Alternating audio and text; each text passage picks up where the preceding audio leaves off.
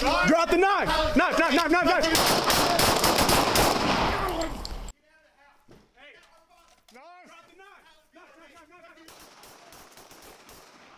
I know, I got Tyler back there with him. Thank you. How old are you? Sorry, real quick.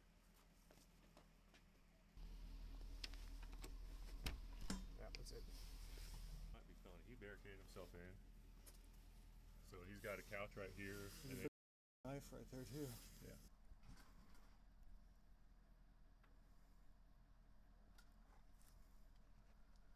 He's reading the Bible and he has a bunch of knives out. He just ducked behind the counter with a knife.